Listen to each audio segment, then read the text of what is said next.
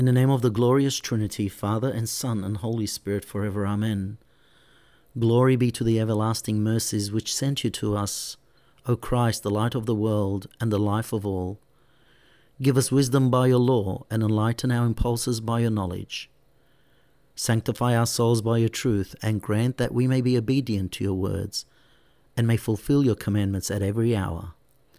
O you who enlightens the rational with the knowledge of your greatness, do enlighten, O my Lord, our thoughts, that we may meditate upon your holy and divine scriptures at all times, O Lord of all, Father and Son and Holy Spirit forever.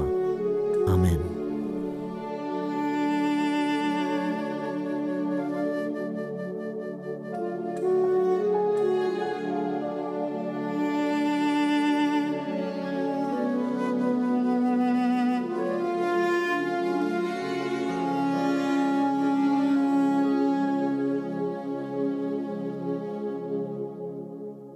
I pray that everyone had a blessed Christmas and New Year.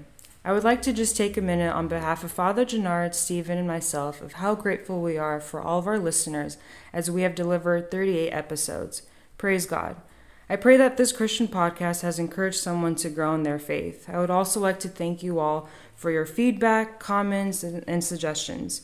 In today's episode, we have a very special guest who has been a very active church member from being a youth member to president of youth and now part of the NEC committee. Kristin Mar-Elia will be interviewing Father Genard about his journey to priesthood. Here is Kristin. Hello, beloved listeners. Today, I have the privilege of interviewing Father Genard Lazar. Father Genard is someone I've had the opportunity of working alongside toward the fruition of our local youth ministry here in the Central Valley of California for the past 10 years. We all go through a season or seasons of difficulties, but we know that the Lord is always there. Although we may experience hopelessness, it is through this season in which we experience a purification of our hearts. Whatever unexpected situation the Lord puts before us is in our best interest. As written in Philippians 4 6 to 7, do not be anxious about anything, but in everything by prayer and supplication, with thanksgiving, let your requests be made known to God. And the peace of God, which surpasses all understanding, will guard your heart and minds in Christ Jesus we thought it would be fitting to capture Father Genard's testimony to serve as a testament of hope and encouragement for whatever God places before you in the coming days. Here we go.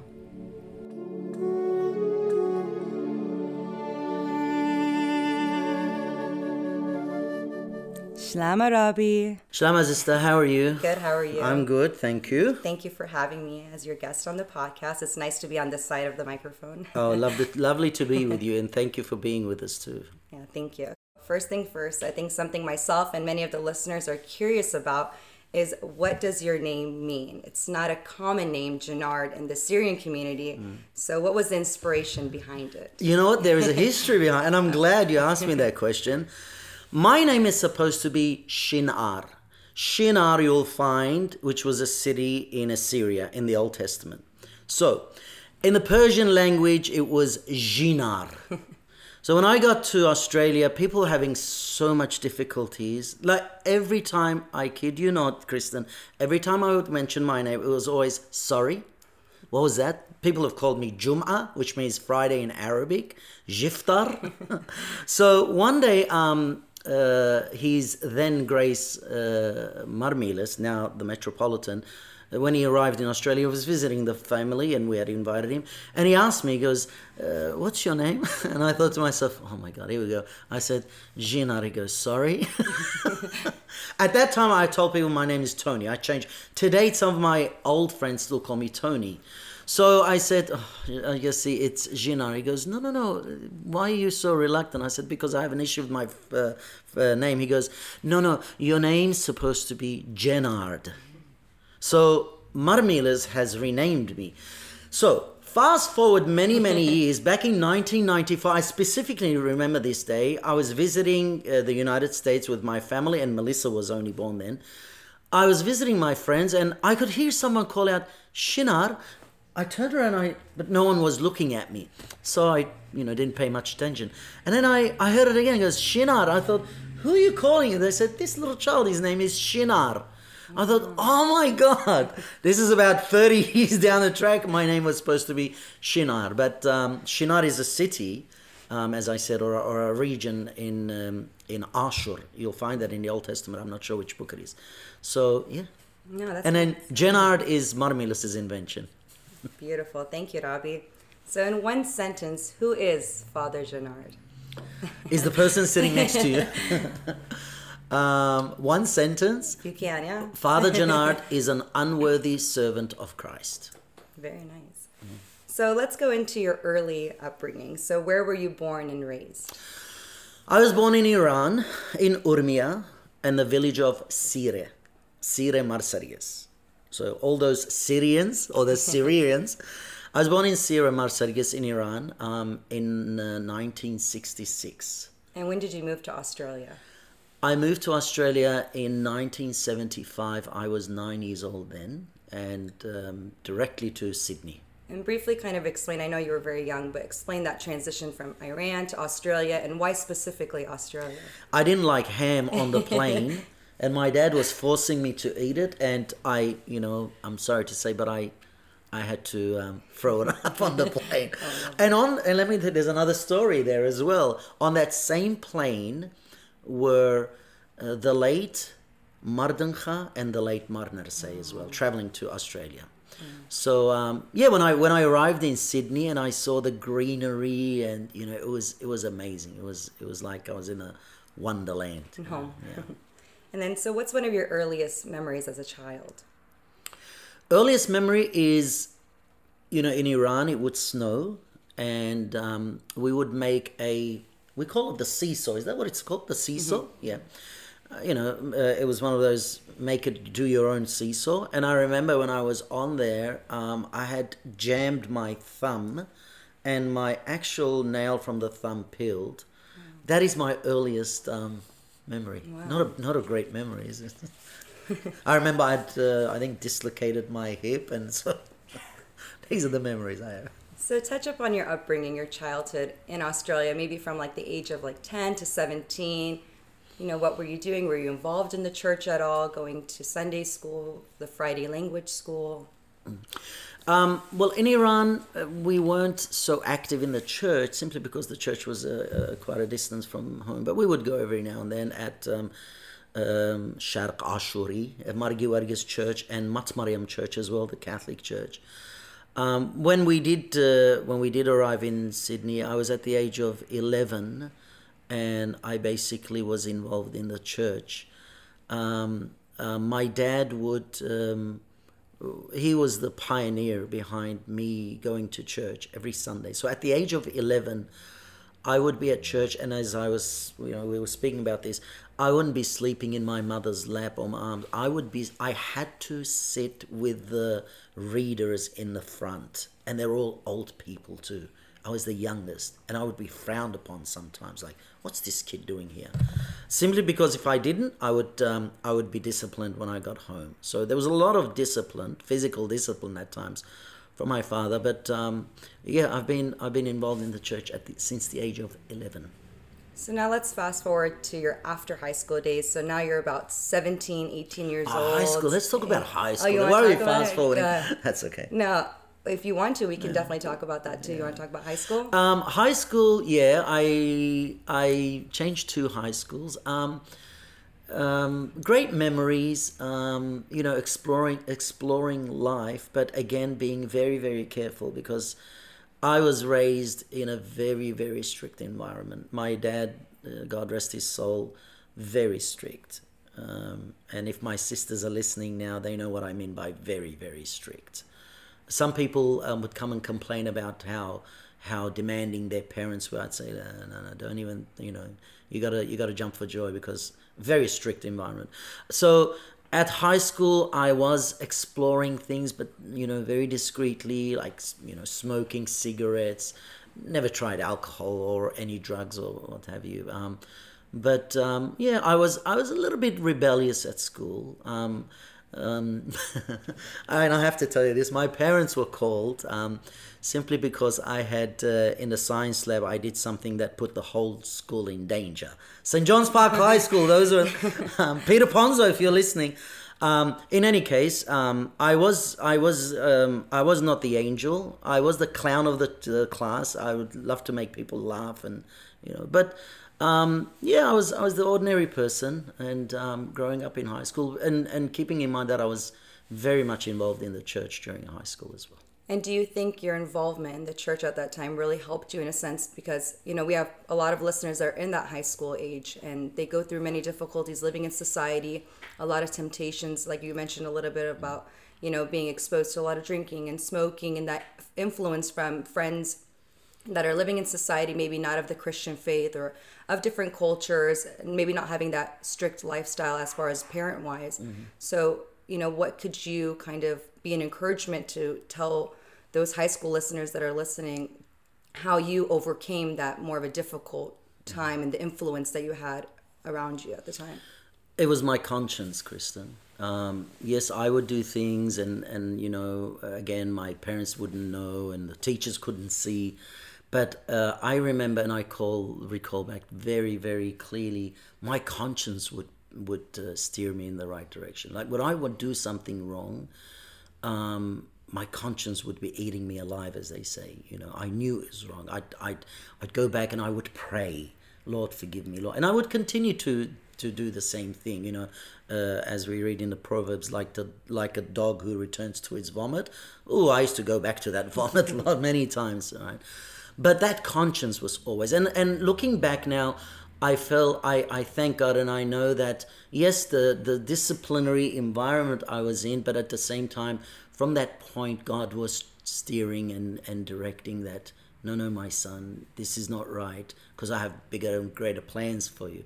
So, um, you know, my, uh, my advice always has been to anyone who comes and opens up with struggles, I say, you know, examine your conscience because Christians have the Holy Spirit. He who is in you is greater than he who is in the world, which is the Holy Spirit.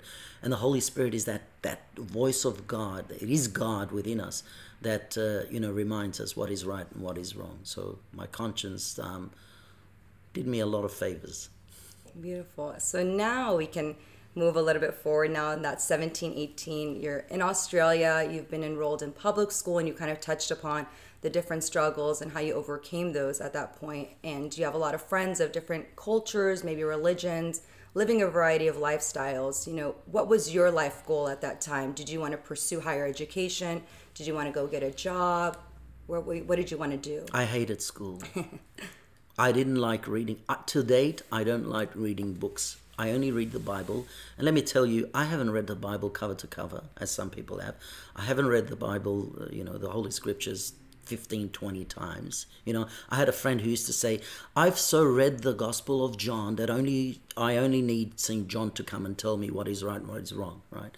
And I'd say, well, no, you haven't because you have a lot of pride. So you haven't been reading the gospel. So um, I didn't like school. And again, my dad would enforce it. You know, you're going to be a doctor. I remember, and I've, I've said this, I've, I've mentioned this in my sermons. My father would walk into the room, and I had books all over the place on my table.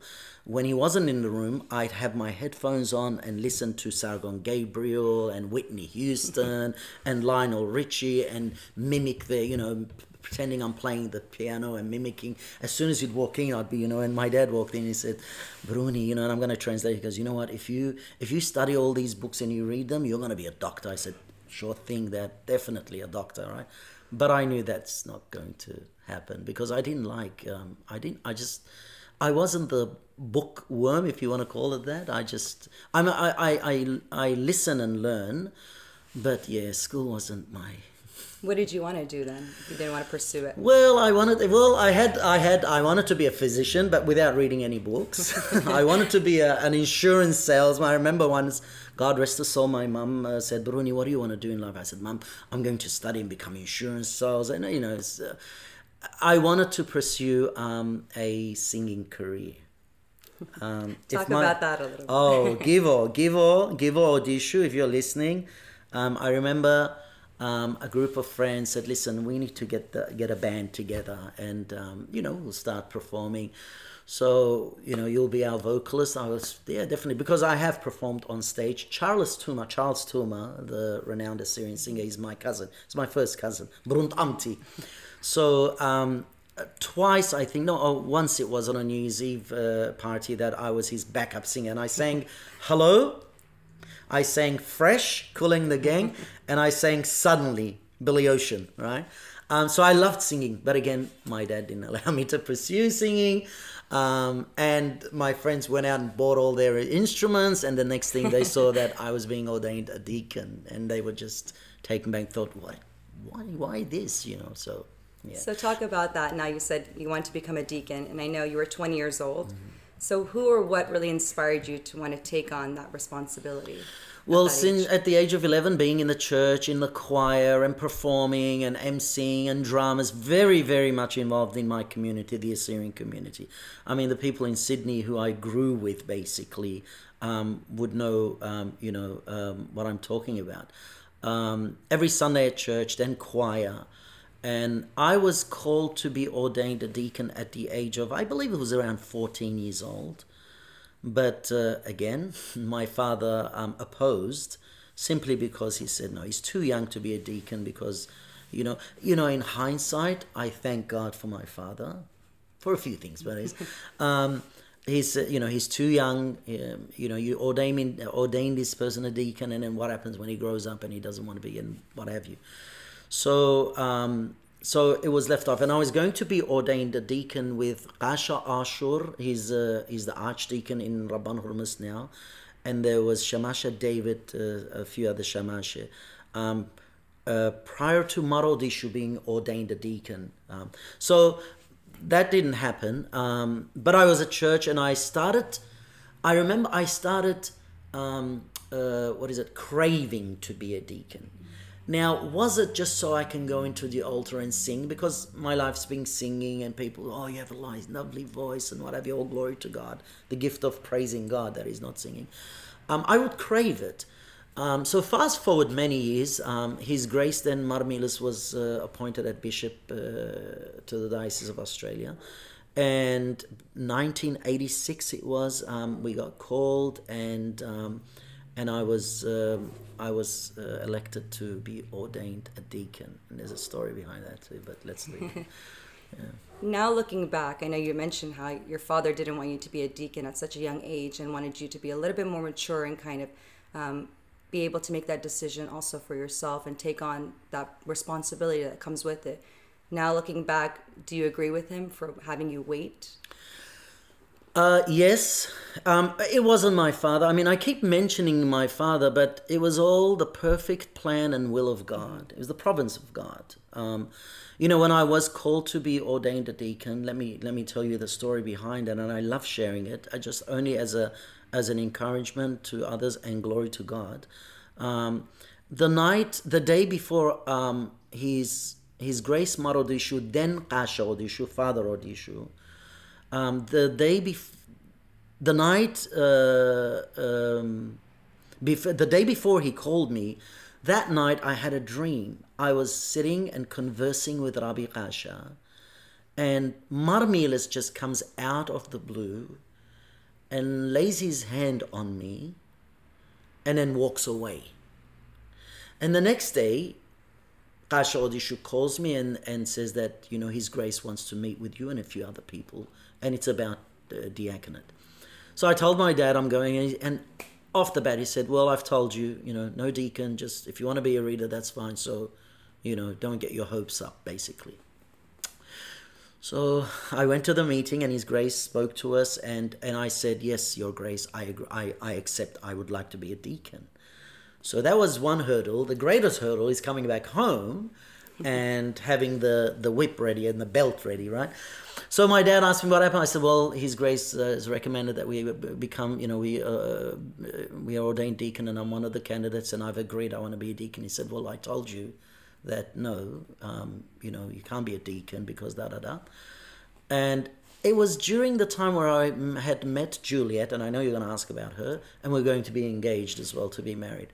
So that night, I amazed everyone. Like my sisters and my brother-in-law's eyes were popping out. Like, what are you doing, Genard? You can't you can't speak back to your father like that. So I remember he said, "Okay, go to sleep now. You know, um, don't get carried away. Go to sleep. I'll talk to you in the morning." Kristin, when I before I went to bed, and I used to always pray. By the way, I used to always pray and always read my scriptures. I kneeled and I prayed and I said, "Lord," and I I always I you know verbatim, "Lord." if you're calling me not 1000 not one nathan my dad's name right his soul was nathan not one nathan but if a thousand nathans um, oppose you you will it will be your will i had a vision i had a vision that i was being laid and ordained as they ordained bishops and a big light. I saw this great, huge, luminous light, and I could feel footsteps on my back. I was crying out, you know, I'm not worthy, I'm not worthy, and I just snapped out of it. And from that point onwards, I knew that I'm going to um, also um, enter the priesthood. So in the morning, I got up and dad said, You know, last night you got carried away. I said, Yeah, but I still want to be a deacon. He said, Okay, go to work, go to work before I deal with you the way I deal with you. Anyway, I called Qasha and everything. But, but listen, this was my dad's reasoning. You know, sometimes, beloved um, youth, sometimes parents may seem unreasonable Sometimes parents may seem that they don't know what they're talking about. But you got to stop and think, well, maybe God's using them. Maybe not the method, but God's using them. When when Qasha Odishu asked my dad, what's the problem? He said, Rabbi, I'll be more than it's a privilege for me, more than pleased to have my son be ordained deacon. But he's going to get married soon. Will his wife be a deacon, deaconess with him meaning he has to be in church every Sunday to fulfill his role. And, you know, then being at the age of, um, was it 20, I felt this man knows what he's talking about. So I called her and everything. You know, and what struggles at that time? You're 20, you just became a deacon. What kind of struggles were you enduring? You're somebody that is in involved in the church, but you have friends that are maybe not involved in the church or may, might not have um, a position as you did as a deacon within the church. What kind of struggles were you enduring? You know, um, Kristin, my friendship, my circle of friends, was also had to be authenticated by my father. I wasn't permitted to um, to go out with any person. Um, so I'm not saying I didn't have friends. I had plenty of friends, um, I didn't have any struggles really with friends. The only thing, the only thing that was, I'd say, a little uncomfortable is what uh, Saint Paul writes in Romans chapter one verse, sorry, chapter six verse twenty-one. And what fruit do you have then, of which today you are ashamed? For its result is death. Right. So, you know, when people would see me and say oh, you're a deacon now, but you know, we used to be out, we used to go to the swimming pool, and we used to do whatever. So now you're a deacon, right? You know, but but then again, the positive uh, point of that was many of my friends would say, you know what, good on you, um, uh, Shamasha. Back then, good on you, Shamasha. You know, you took the right path. Yeah, we're still in the world. We're da da da, and and most of my friends ended up in the church too. So Praise God. I remember one uh, one very close friend, God rest his soul, Lector Dennis.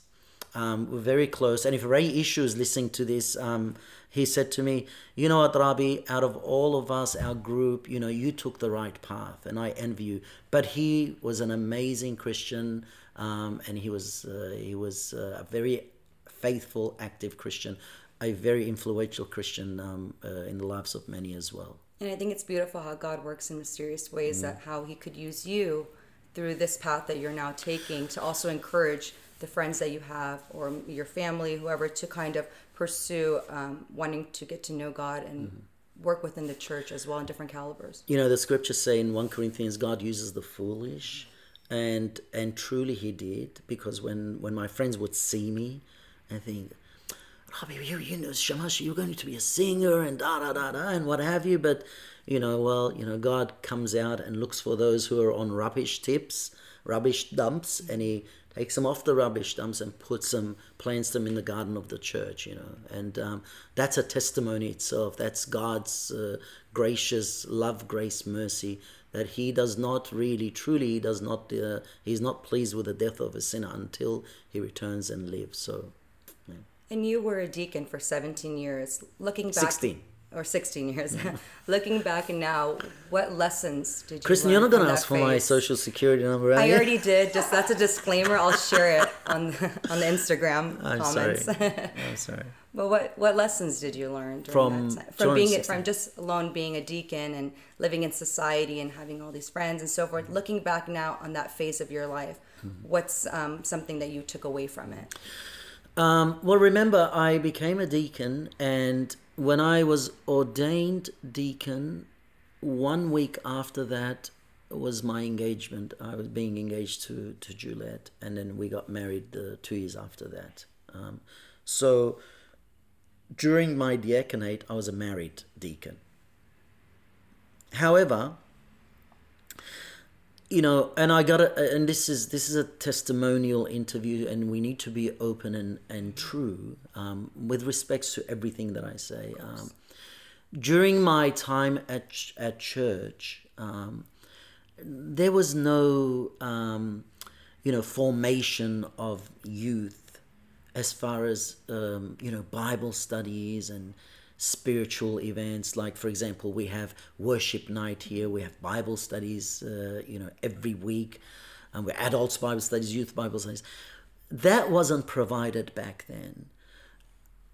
Actually the first bible studies per se where we would sit and um, discuss the holy scriptures um, began um, when I was the president of the youth at the at Mat Mariamen in St. Hermas Cathedral, and we would sit, but really without any background knowledge or training, I would uh, lead Bible studies. But something that's that still today boggles my mind, and and and I just ascribe praise and glory to God.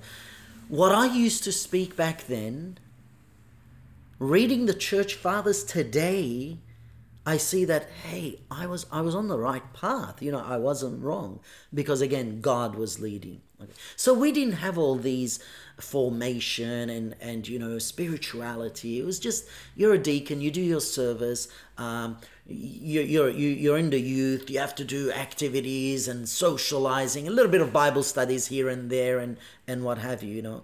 Until until 2000 and I would say 2001 um, is when we we began this Bible studies and spiritual nights and prayer meetings and and what have you. So during my diaconate, I was a deacon, I was a, husband, and I was a, a father as well. So not much formation, not not much um, um, training, you know. But His Grace, when His Grace Mar Meelis arrived, he immediately began preaching, and I would be the, I would record the sermons, and I would make copies of cassette tapes back then.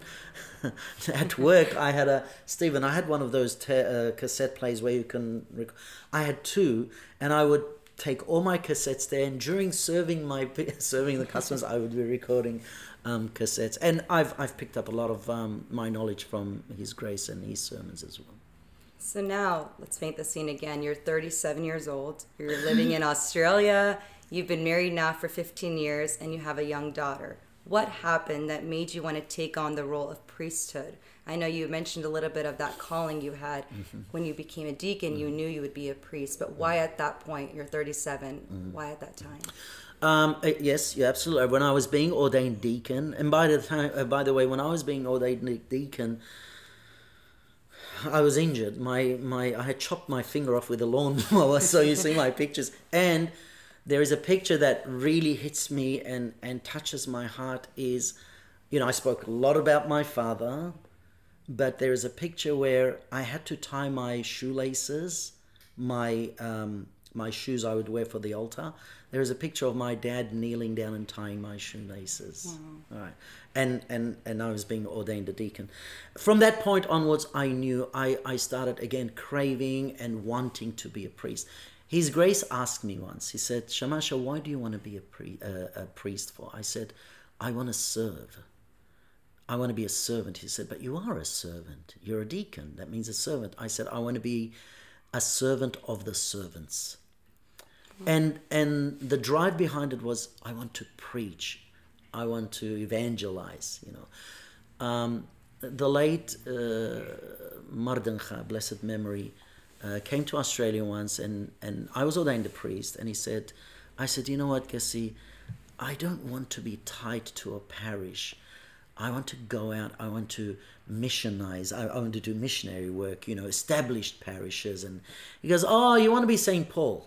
I said, "Well, yeah. I don't know if I can fill those shoes, but something like that." And that's where he he when he wrote me a a, a blessing, a letter of blessing. He calls me Kahana Evangelayat Eitid Madancha, the evangelical priest of the Assyrian Church of the East. From that point onwards, I wanted to serve. I wanted to um, you know, be entrusted with a flock and to, to attend to the flock. And um, and yeah, Mar Meelis asked me, and and uh, that was my answer. And, but I didn't get an ordination then. I don't know what happened. Maybe it wasn't a satisfying answer back then.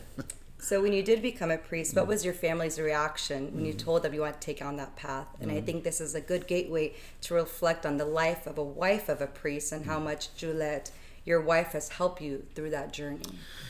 Are you going to be specifically asking me about Juliet, or would you like me to talk about her now? It's free for you. It's for, yeah, this, Go uh, ahead, this is free my for all. I'm just Um, a guest.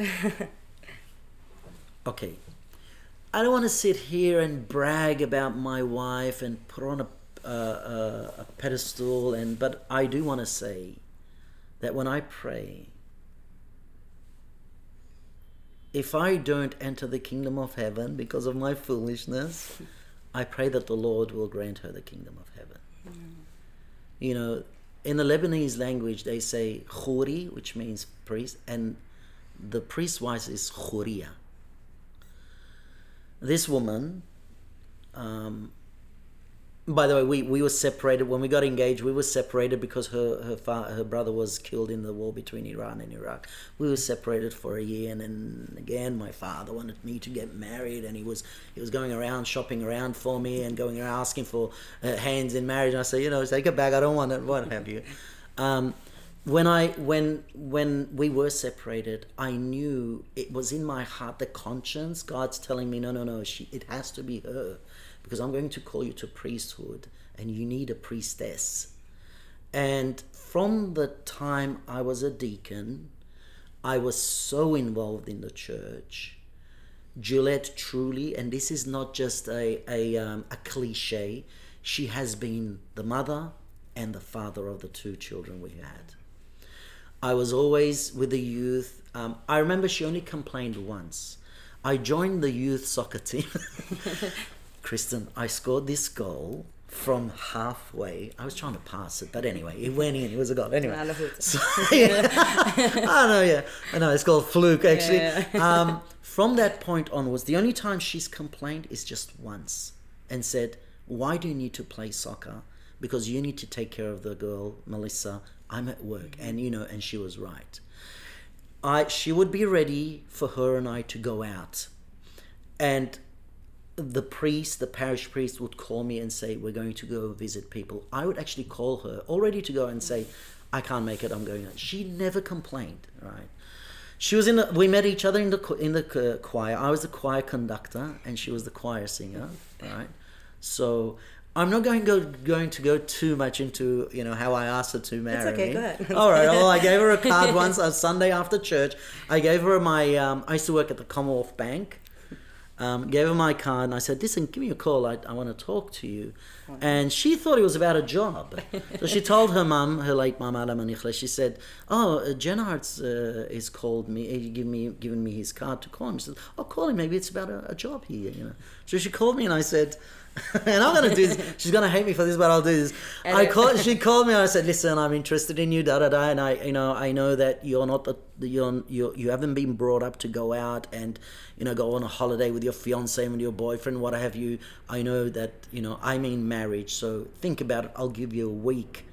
Kristin, I said I'll give you a week. She rang me in three days and said I accept. Oh. But anyway, so so she and and then that night I called her about being a deacon.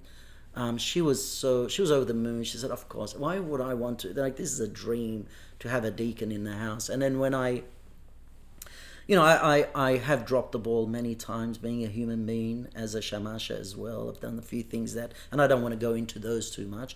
Um, nothing serious, like nothing serious. Um, I've been very faithful. So, um, but when I said to her that I, you know, I've been called to be a priest, she basically, I think her words were, "So what's new?" I mean, this was in, inevitable. We could see this coming because I was so involved in the church. Um, I was the unofficial secretary to the bishop. I had the choir. I had the church radio program. I was the um, chair of the boards of the school, the uh, Hurmizd Assyrian Primary School, um, president of the youth group, um, deacon, and uh, here, there, and everywhere. So when I did, when I when I not I decided when God said now is the time, I had the full support of my family. My auntie, Shalom, Charles Tuma's uh, mother, I remember um, I said, Atu, um, I'm going to be a you know priest. She goes, Ay Allah Bruni. And she was the first one who saw my cloak, the wow. ma'apra. I remember it was in the in the car. It was uh, Saturday. I had to go and pick up something. I said, Atu, Atu, come and because my auntie is very dear to me. Um, I said, "Oh, to come and look at my," and she started kissing. and um, and the night, the, that night, Kristin, that night, I had another dream that I was being elevated in front of Saint Hurmizd uh, Cathedral. Mm. I said, Otto, I had this dream. He goes, Well, there it is. You're going to be elevated. Your, your ranking is going to be elevated. I had the full support of all of my family. Um, and they were they were like you know we were we were waiting for this it was you know it was going to happen sooner or later. So, Rabbi, you mentioned a lot about the ministries you were involved in in Australia. Mm-hmm. Talk about the prison ministry. It's something you didn't mention. Oh, thank you. Where'd you get your information from? We have our sources. um, yes, the prison ministry, a very um, significant ministry of, um, of the many ministries that I was involved in. Um, we began that, I can't pinpoint the, the date or the year, but um, I remember visiting um, one brother who was in jail for you know nothing very serious, but um, um, and uh, the parents approached me and said, you know, Rabbi, would you be willing to go to a prison? I said, oh, of course. I mean, Jesus Jesus mentions that I was in prison and you did not visit me. So when I when we when we went and um, actually I went by myself and, and visited the person and you know what you do you, you got to be careful what you say because everything's recorded. So we only uh, you know we only I concentrated on you know giving hope and uh, and talking about grace and mercy, talking about the law according to the law. You should be not out of here, but there's grace and there's mercy. And after that, I thought, you know, this is a great ministry. So um, I wrote to um, uh, a lot of the prison chap- chaplains, and basically they said, listen, Father, it's not easy to become a chaplain. Just don't go through all that, you know, trouble. Anytime you want to come and visit someone, you just call me and I will arrange it with the head guard, whatever their name is, and and you'll you know feel free to come and visit your people. So it was effective, and you know something amazing, Kristin. Um, many times the first question was, "So, uh, you, so you're telling me God's going to forgive me for what I've done?" You know, and you're talking about uh, murder, you're talking about um, drugs and you know um, extortions and what have you. So uh, you tell me that God's going to forgive me for what I've done. I said, that's exactly what I'm here to tell you. Beautiful. You know, society may never forgive you, but so what do I need to do? Well, you know, reach out to the Lord, cry out to the Lord, um, be prepared to repent, and, and what have you. You know, I, I I think I still have a brother who's um, who I knew from a very very young age. He's still serving time, and that was the question. As I said, listen, you're going to be here for a long time. You know that very well. But use that time and don't forget 1,000 years is one day. I remember specifically saying that to him. 1,000 years is like one day to God. So you know, use your time to to reconcile with God, and it was it's a very good ministry. Is there an interaction that still you remember to this day with somebody you spoke with, and something maybe they they told you, and how much their life changed through this ministry? Mm-hmm. It was this person, this this inmate that I went visit, and the first thing he said he actually he looked at me because I knew him from and I said you know hi how are you he was good I said well you know here we are like yeah and he was like, "Yes, I know you're you're here to tell me that God's going to forgive me. Do you think He will forgive me?" That's what he asked me. I, you know, I, I had to hold it because I was going to crumble myself. You know, and I said, "That's exactly what I'm here to tell you. I'm not here to tell you it's okay, you know, I'm going to help to get, you know, I'm not here to do that. It's not okay. You're here now. This is reality. Face reality. But there is always hope with Jesus Christ, you know. And and I hear um, that some of these inmates that I did visit, some of them have, have you know, been released, and some are in the church. Um, they're active in the church as well. So. And with that being said, people think the life of a priest is much easier than that of a parishioner. You, that in a sense, you're bulletproof. You don't have struggles. You don't fall into temptations or so forth. What struggles specifically, maybe in your first five years of your now a vocation of being a priest, were you enduring? That transition now from, in a sense, you're more of a parishioner, you were just a deacon, to now having a position of authority, you're now leading a flock. What were you trying to overcome, or the struggles you were trying to overcome at that time? I have I have not overcome anything yet, Kristin. I still struggle, and one of one of the greatest characteristics of Christ um, is humility you know, Jesus didn't find a place to be born. He was born in a stable full of dung. And that's humility. We spoke about that last program, I think. Um, um, humility and perseverance. You know, I always say faith entails faith, obviously, trust, and patience and perseverance. These are the the the four um, attributes that I could be speaking on behalf of very other priests, I don't know, but that we all go through. Um, it's not easy, Kristin, because um, you know, we have some difficult people in the flock, and Christ encountered difficult. His opponents were just so difficult. They didn't budge. He was on the cross. He was. He just said, "Give me some water," and they gave him guile to drink. Right. Um, and then you have demanding people and they were demanding people when Jesus was, uh, you know, Lord, tell my brother to, um, to, you know, split half the inter- inheritance. And Jesus says, who, who told you that I've been put to be, you know, I'm, I'm the arbitrator. Yeah. And then you have those people that are so um, down in life, that are so helpless. So you have to be everything to everyone. And then you have your own struggles, personal struggles family struggles, health issues. You know, just before we began this uh, pro- uh, program, um, Adrena said something, and I said, "Oh, I, I said something about my having a little bit of pain here and then." She goes, "Oh," I said, "Yeah." So when you want to cry, you come to me and cry. Who do I cry to? She goes, "Oh, he's my he's my shoulder. You can cry to." You know, who do we cry to when we have um, when we have issues? Obviously, we cry to the Lord. Mm-hmm. You know, but um, the struggles are always going to be there. And as far as I'm concerned, for me to overcome, I'm I've put this in motion in practice the past three weeks now. See, we're not perfect. Uh, you know, I didn't I didn't become bulletproof as, as soon as I was ordained priest. What I try to now, as personally, and maybe this is a, a, a help to us, is always remember what St. Paul says. Always think yourselves as being less than others. So if you and I have an argument and I know I'm right, I must say to myself, well, no, maybe it was my fault. It gives you so much peace and comfort as well, you know. So struggles are always there, um, and temptations, um, many ways. Um, not as a, a, faithful and a, a parishioner, uh, but the pride factor is always there. The um, um, the you know, being right at all times. Um, so we go through that. So now, kind of moving to 2010, you moved from Australia to Americas. Hawa. Woohoo! So briefly explain that transition from Australia to America, specifically the Central Valley of California, and why. 2009, His Grace, now His Holiness Mar Awa was ordained bishop.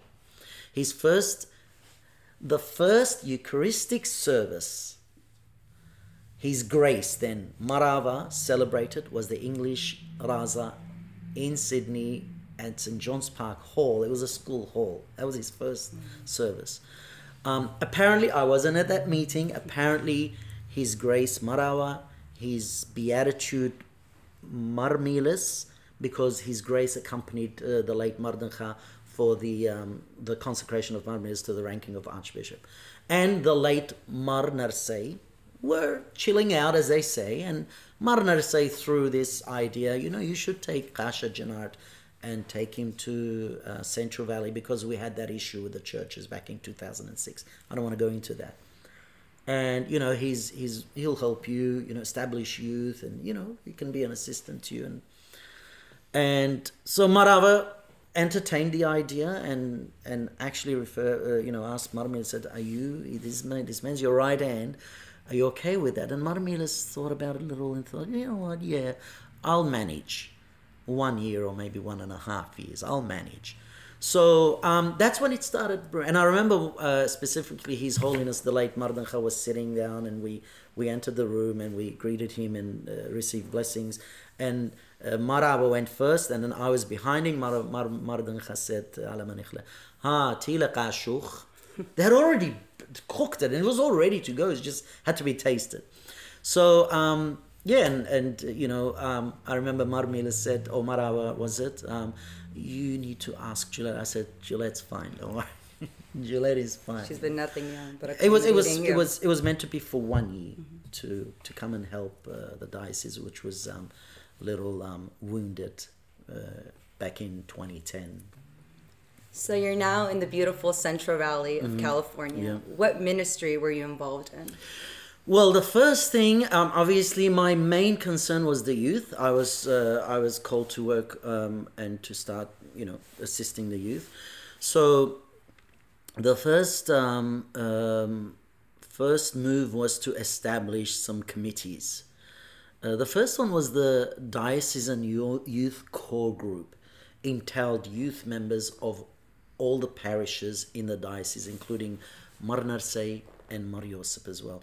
I remember I called all the youth presidents, Hala, uh, Shamasha Ammo, and Shamasha Antoine was the youth president here at Marade. Just gathering information like what are you lacking, what would you like to see, what's your issues, and what have you. So I went back to uh, His Grace, and I remember His Grace had a re- little retreat in his bedroom. Um, it had a whiteboard. I said, Kessi, tu, listen. And I started writing. You know, I always like to write, and I said, I think we should organize this, da da da da da. And um, His Grace was um, very positive, and we, he actually, not myself, he approved the establishment of the Diocesan Youth Core, Core Group. DCRG. We always had those always acronyms, oh, right? Yeah. yeah, master of the acronyms. Oh, yes, you are. Um, and thanks, Kristin. Yeah, okay. But um, a few years down the a few years down the track, um, um, you know, it was seen that it's difficult for the Bay Area to be involved, and they would like to do their own thing. I think um, my brother Qasha Lawrence had requested that he would like to take care of the youth because you know, um, you know, it was, it, the, the, travel mm. distance, what have you. Um, and then we established the Central Valley Youth Core Group, group yeah. Youth Group CVYG. Um, but at that time also if you all recall the debt reduction and development campaign, yeah. That idea I bought from Sydney because when I was when I did come to Australia to uh, the United States, we had already kicked that off. Um, we we had done the same campaign there as well, and again when His Grace saw the figures and my brother priest and said, you know, we need we need to push this and so but but focusing mainly on the on the youth and establishing the Central Valley Youth core group. It's funny that you mentioned the whiteboard because you still do that today. You, I'm literally looking man. at the whiteboard behind me. you love to do that. But talk a little bit about the Central Valley Youth Group. You have been a huge advocate, a helper, pain, a father, a pain. Mm-hmm. no, but um, you're someone very important to the Central Valley Youth Group. So talk about that a little bit. Um, you know, my ministry since, uh, you know, being involved in the youth in Sydney at the age of 19, you know, when I tell people I'm 56, oh, mashallah. Yeah, exactly. So you're knocking on wood, right? What? What do you do? I said, nothing. I just work with the youth. As, as um, problematic and as I don't. I, have got to be careful with the choice of my words. Edit it. As they are, I love the youth. I I really, you know, and I'm glad I'm still the old fashioned Shamasha Genard. And when I see youth get involved in a few things, you know, my terminology is old now. Sometimes when I first came here, I used to use the the street terminology, and everyone, oh, he's a cool dude, yeah. now he's used the same terms. They're going, what's that? All right.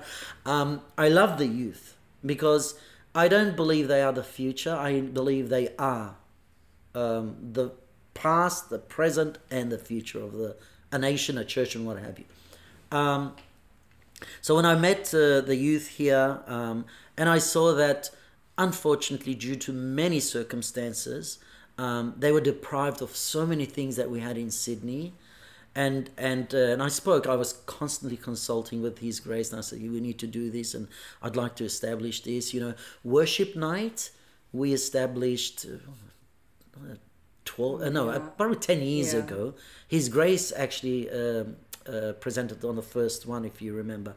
Um, we did that in Sydney. We called it Friday evening uh, um, preaching, and we had the Wednesday Bible studies evening, where we would sit and discuss the Bible, obviously study the the scriptures. So, and I saw a lot of things that we we would do in Sydney that the youth weren't getting, uh, you know, involved in here. So it was a it was a a mission, but it was God's work. And today, when I see people like yourself, and not because you're interviewing me, um, people like um, Katrina, my sister Katrina, and many others who are now leading Bible studies. I mean, quietly under the table, I go, yes, that's what that's what it was all about. Praise your name, Lord God. You know, um, and we, we we're not there. We have a long way to go, but um, you know, Kristin, I believe that um, uh, you know the the the events of the world today and the path that the world is taken. We need a, a, a church needs to exhaust time, effort, and finances, not only for the youth but to begin from the young, at the at the young age, the the, the children. Exactly. Yeah. Just specifically, I guess, with your role within the youth, you touched on a lot of things, but out of all of those, what do you love most about helping with the youth group? If you had one thing you The had to fun we have. The fun. Oh yeah, we have a lot of that. the Maltashe and the, is it going Ram, right? The yeah, and will uh, and what else do we have? What's number are you? What's number are you? By the way, what's number are you, Kristin? Twenty-five. she got it. um, it's it's seeing them grow. You know, again, when I 2010, how old were you, Kristin? Fifteen. 15. You're a young girl, right? Um, but now here you are interviewing um, that unworthy servant of God who arrived in he back in 2010.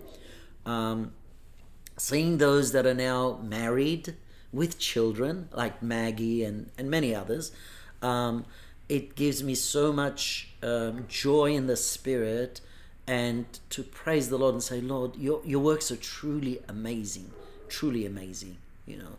And the youth have played a very big role in my life in many ways. The youth have disciplined me. The youth have taught me to see it in many ways and not just my way. And I truly say this the youth have taught me to be long bearing and to be patient and to um, to just go along and continue to rely on God and not my own understanding. Um, and to date, this is still happening. So, thank you, youth. So what are your? youth, or as Raman Batsayad would say, yutamute. You still say that today. what are your expectations and visions for the youth of the 21st century? Oh, you know, I'd like to see the youth um, engage in more spirituality than what the world has to offer. I'd like to see the youth truly commit their lives to Jesus Christ. And I'd like to see the youth give everything they have that have been blessed with from God, give it back to Christ. I'd like to see the youth take over the church. With all respects now, if it wasn't for our parents, we would not be here. You know, when I see old priests And people say, "Oh, the old priests, they never preached." That you know, if it wasn't for them, I wouldn't be here. I actually kiss their hand. I, I thank them. I say thank you, because if it wasn't for you, I may not have been here today. But I'd like to see the youth get involved in the church to run the church. Not only administrative and financials, not only that. I'd like to see the youth in, you know, the, the, the young men to to to to crave for rankings, to to take, you know, uh, um, different church orders and and offices and and the, the my sisters to be involved in the church where they're teaching the youngies and becoming you know mentors and and Sunday school and and uh, you know the youth itself. Um, it just it's got it's a chain reaction you know you you need to now Kristin you need to now people like yourself Maggie your Rosie Gabby Katrina um, Adrina Stephen Joey um, you know, I'm sorry I can't mention everyone, we'll be here till tomorrow, to now come back and give back to the church what the church has given them to be exactly. mentors you know and and you guys do that and i and that's what i like to see and i and and i i do witness that every now and then which is great and we honestly Gabi, are blessed to have you someone that helps us because it's something definitely difficult for us and we're trying to give back just as much as the church has given back to us um, but we can't do it without you know your support. But how much do I know you guys? Come on. Yeah, you know us. I think very very well. yeah, Adrina's calling a lot. Okay, yeah. Next time you come knock on my door. So now we're kind of to present day. At this point, you've been a priest for almost 20 years. You're a parish priest. You hold an executive position in the National Youth Association. You're the coordinator of the local youth ministry. You have a podcast ministry you're a husband, a father, and the best of all, you're a grandfather. So, so you wear a lot of hats. Mm. What struggles do you endure today? And when I say that again, it's, for example, as parishioners, we're living in this society. We go through many challenges. We feel that a lot of times we're the only ones enduring these difficulties, temptations, loss of hope, faith, really fighting to stay afloat. So, what do you, somebody that has all those hats, struggle with? Sometimes it's staying focused. And again, and the greatest struggle is wanting things to go where I think is right, how I think is correct, and the time that I think is, mm-hmm. you know, appropriate. And I get so many eggs on my faces because I come back and I say, you know i can hear it through my again the conscience and the scriptures and my even my sermons when sometimes i'm preaching and i always uh, give this disclaimer you know when i preach i'm preaching to myself first it's like god saying relax listen this is not your church. You are an unworthy servant. Remember, you used to smoke and you wanted to become a singer, and you would go out and, and you know, with your friends to the public swimming pools, and you would do the burjat bawal in the in the water. Oh, that's going back. That's going back. Um, remember, remember, you you stole a textbook once and you almost got caught, but you were so clever. You took it out of your bag, showed the bag, put the bag down, and put the book back again. So you were a thief, right? Remember, you used to cuss so much, so you were a, a, a blasphemer right? Remember, you used to hate, so you become a murderer because he who hates his brother is a murderer. Hey, remember, you were on that rubbish dump, which you were so um, worthy of being there. Remember, I took you from there and I put you at the altar where you open your arms and you invoke the Holy Spirit to come down. It's not you. So relax, you know, just as, as God said to uh, Elijah, get up, stop whinging, you got more work to do. Relax, it's my church, it's my timing, it's my way, and it's the way I want because Jesus is the way, the truth, and the life. You know, that's my struggle. So, and that, that's that's a prayer point for. Uh, I ask for everyone to pray for me. And I think that's evidence alone because we go through many of the similar struggles that you mentioned, mm. and just alone, you know, we always want our way, our time. Mm. You know, when we pray for something and it might not happen, it can obviously be discouraging, and you have that loss of hope and mm-hmm. faith. Um, you start questioning a lot. So just to know, to like you said, relax and know that everybody is going through that, and just to trust the process and trust in what God has put before you is the best thing for you. Let me tell you, um, Kristin, I'm sorry to cut you short. No, no. Um, when I posted this post of St. John Chrysostom, um, I was going through that struggle back then. This is only a few, um, a few weeks ago. Um, St. John Chrysostom writes, when your prayers, I'm trying to find a post so I can read it verbatim, but along the lines, when your prayers are not answered, um, and um, or something along the lines, um, when your prayers are not answered, do not think that you are more wise than God. Just wait. All right. That day I posted that. That was for me, but I want to share it with everyone because I was struggling with something. Like, why isn't it happening right? And then I pick up the church, uh, church fathers, and I, I, I, I truly recommend, strongly recommend for you, for everyone to read the writings of the church fathers. They're amazing. And when I read that, I thought, okay, that's another slap in the face. So relax. Hey, you know what? I'm going to post this for myself so that I can always refer back to it and for others as well. So when someone is feeling similar to um, a lot of the examples that you mentioned, you know, feeling down, whatever it may be, what is your advice for them? You touched on a little bit about it to pick up. Let me go back in a life example. We were married. We were living in apartments. We had Melissa. We had 50 cents in our bank account. And Juliet was crying and like, what are we going to do? And why am I, why are we like this? Look at this person, look at that person. And we always say that, Yeah. right? Oh, yeah, look at this person, look at that person. I specifically remember, if she can recall, I said, hey. Good start. Hey, God doesn't love that person more than He loves you and I. God will provide. And a few weeks down the track, all the bills were paid and we had more money in the bank account, more than 50 cents anyway. Trust the process. Always. God does not show partiality, He has a perfect plan.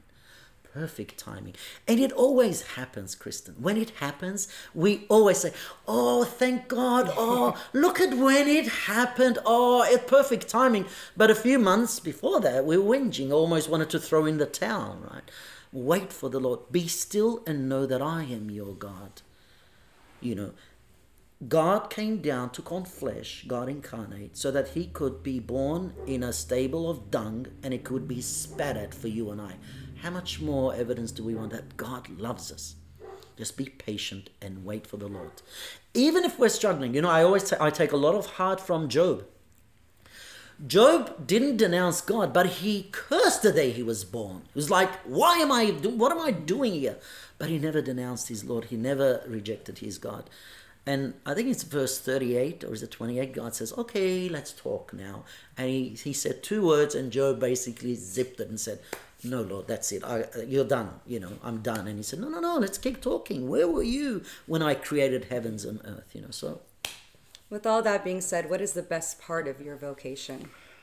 Best part is when I stand at the altar and I extend my most puny and weak arms, unworthy, and invoke the Holy Spirit to ascend on the bread and wine.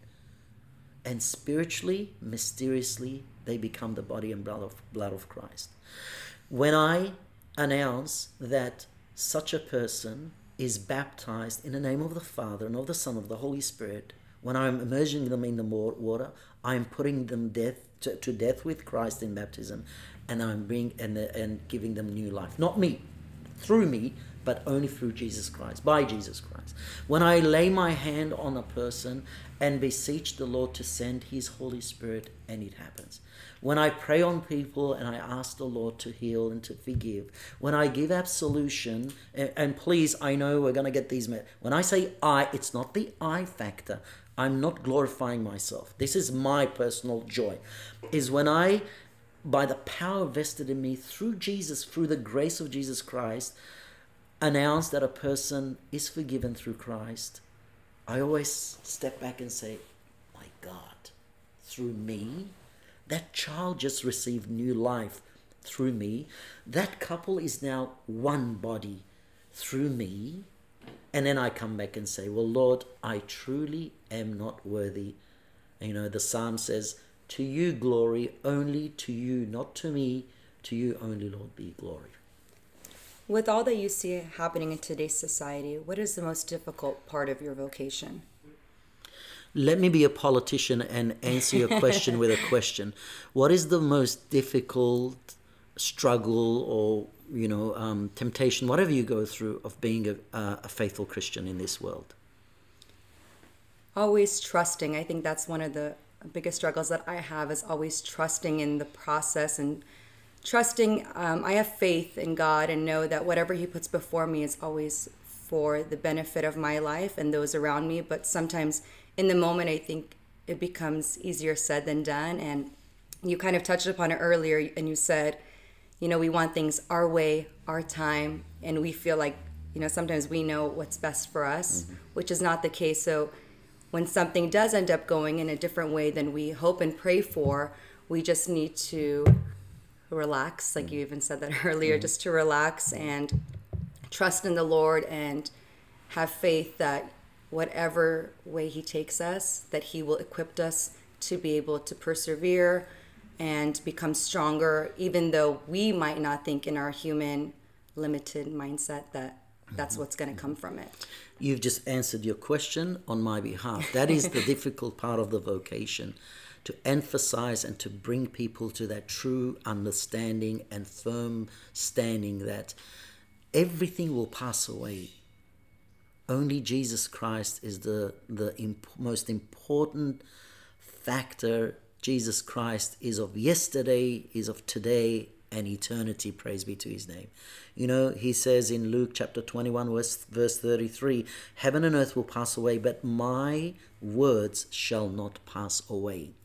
So when we read Jesus' words, I mean, yes, we have the comforting words, we have the alarming words, but those final alarming words that one day, Kristin, you and I, and every person that is on this earth, the trillions and gazillions of people that have walked, walked this earth, will stand before this righteous judgment and be judged according to their deeds, faith and deeds, whether good or evil. That is the most difficult part of the vocation to, you know, stress to people and emphasize that this is where this world is heading. So, where are we? What are we doing? You know, I'm not one of those. If Jesus was to come tomorrow, what, what would you say? Where would you go? Where would you be? You know, I'm, you know, Jesus says, worry about today. Tomorrow has its own problems. Mm-hmm. I'm one of those who would say, where are we today? Let's fix today, and God willing, tomorrow, God will take care of. And to add on to what you're saying about wanting to fix today, I do worry for the new generation. We have a lot going on in society, a lot of things that are against our Christian faith. So, trying to, you know, be somebody that is part of the society, but as well continuing to pursue this Christian faith can be difficult and it can lead to a lot of confusion, a lot of challenges, a lot of um, difficulties. But when we are close to the church, it just makes it um, a little bit easier in a sense that we have the support of others that you know are like-minded and pursuing that same path that we are so they can support us god so graciously granted us the free will Kristin um, but it's what do we do with that free will correct you know i can i can place a knife in a murderer's hand and he will murder. But I can place a knife in a physician's hand and he will heal people.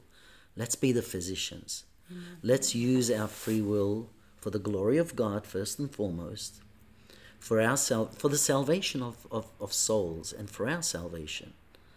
Um, you know, we I, I think we tend to use this free will. We've we've so taken it out of context and so uh, liquefied it. You know, I'm, I'm free to do what I want. Well, well, yes, you are, but there are consequences. You know, I remember asking my brother-in-law once we were driving. I said, John, um, I can kill people. I can murder people. He goes, No, I was a shamash. He goes, No, no, you can't. I said, Why?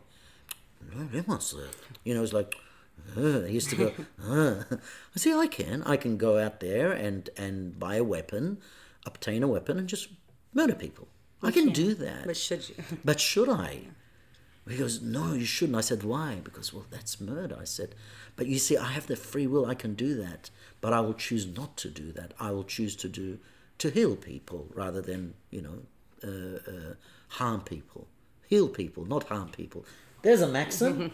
Let's all heal people and not harm people. How's that, Adrina?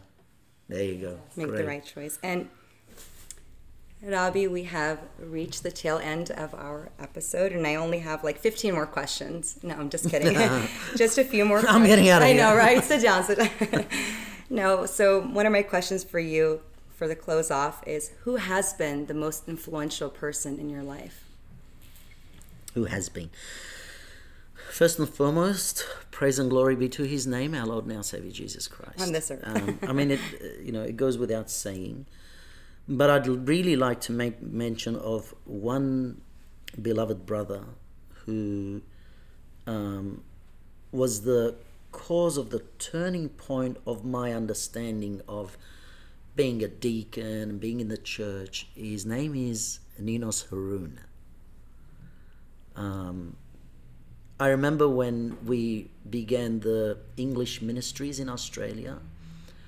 Um, the first meeting we had, um, Ninos Harun was a brother who would I'd see in the church. Oh, his dad, the late Qasha Georgis uh, Harun, he would be in church every Sunday, but I wouldn't see him at all. They would uh, attend other churches for Bible studies because there was no Bible studies, effective Bible studies back then. And I was one of the cause of that, not effective Bible studies. I remember that first meeting we had when he when he entered the hall and a few other people with him. I thought, ooh, Ninos is back. And when I was a shamasha then, and when he left, he shook my hand. He goes, "Shamasha, we're going to make this work." And to date, um, this beloved brother of mine has been a, an amazing support. Um, I I yearn for his love for his church and his nation, his biblical knowledge, his scriptural knowledge, his capability, his gift of the gab. Um, sometimes he talks so much he won't let you talk, but we love him. And you know the six of his ear, he knows what I'm talking about. Um, um, he has been very, very influ- influential from the beginning of my priestly ministry in Sydney for the Saints Peter and Paul parish. Wow, that's amazing to have somebody that has such a has had such an influence on you and really helped you continue this endeavor through helping in the church. My other question is what hobbies do you love? I know you always mention soccer, but other than that. Soccer fishing, I haven't done that for 20 years, and every take time, you. yeah, I meet people like Givo and uh, my cousin Hurmizd and Robbie, just name the date. Yeah, yeah, we'll go out, and you know, seven months later, Robbie, we're still waiting for you. I love fishing, and I love, um, I love to play soccer, um, ping pong, Hell yeah. yeah, um, and that's about it, I think. And then Boring life. No. My last question is what is your favorite church hymn? My favorite church hymn. Now, do we want the liturgical or any church hymn? It's up to you, whatever you would like to do. There's no rules. Favorite church hymn is Father of Righteousness, Awat Qushta. Simply because there is a, a verse that says, Because I have sinned, your son received Bazmaro. Go ahead and the sing sp- it, yeah, please. سبب خطيلي بزمارة ورمخك وبالخبيوخ Because I have sinned, your beloved, meaning Jesus Christ, received the spear and the nails on my behalf. That was for those that love to hear Rabbi sing. And I also like this is a this is a, a, a, this one's for Qasha Georgis Rashu. Uh, in the morning when I rise, in the morning when I rise, in the morning when I rise, give me Jesus.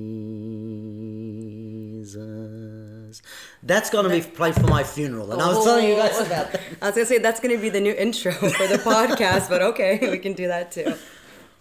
So, Father, thank you for sharing your testimony. Mm. You reflect on how God's path for your life thus far has had many unexpected or unplanned turns. Each turn has brought with it challenges, mm. happiness, sadness, confusion, growth, and many lessons learned.